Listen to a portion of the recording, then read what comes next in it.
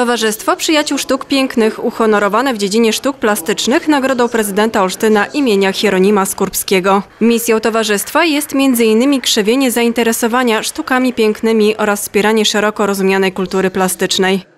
Boję się trochę, że towarzystwo stanie się zbyt popularne, a tego typu praca wymaga dystansu, spokoju, yy, robienia tego, co trzeba, a nie tego, co ładnie wygląda. Do tej nagrody Towarzystwo Przyjaciół Sztuk Pięknych zgłosiło olsztyńskie BWA. Nie jest łatwo pracować w kulturze, nie jest łatwo działać w dzisiejszych czasach y, w tej materii, choć bardzo pięknej. A działania towarzystwa to są działania społeczne, to są działania oddolne. Łatwiej jest y, pokonywać pewne trudności, czy też, y, czy też wypracowywać pewne metody popularyzacji sztuki w, jako, jako instytucja. Nagrodę przedstawicielom towarzystwa wręczył przewodniczący kapituły prezydent Olsztyna Piotr Grzymowicz. Laur został przyznany za wieloletnie społeczne i pełne pasji angażowanie się członków towarzystwa w upowszechnianie wiedzy o sztuce. Należą im się jeszcze raz serdeczne słowa gratulacji, podziękowania za tą twórczą, codzienną, wyjątkową pracę, bo wkładają w to wielkie serce.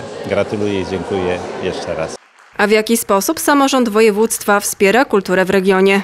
Generalnie mamy szereg swoich działań, jeśli chodzi o związane z kulturą, jeśli chodzi o, mamy swoje instytucje kulturalne, jeśli chodzi o filharmonię, teatr, ale również stypendia artystyczne, muzea, więc jesteśmy właśnie w naszym Muzeum Warmii Mazur.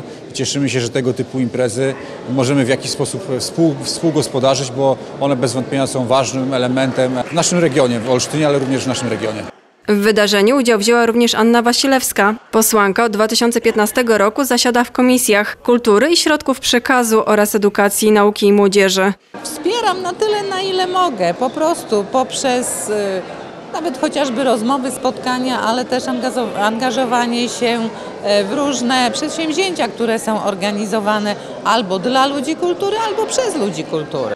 Przypomnijmy, towarzystwo w pełni rozwinęło swoją działalność w 1997 roku, podejmując szereg inicjatyw chroniących dzieła współczesnej plastyki użytkowej, a także przedsięwzięć związanych z szeroko pojętą sztuką.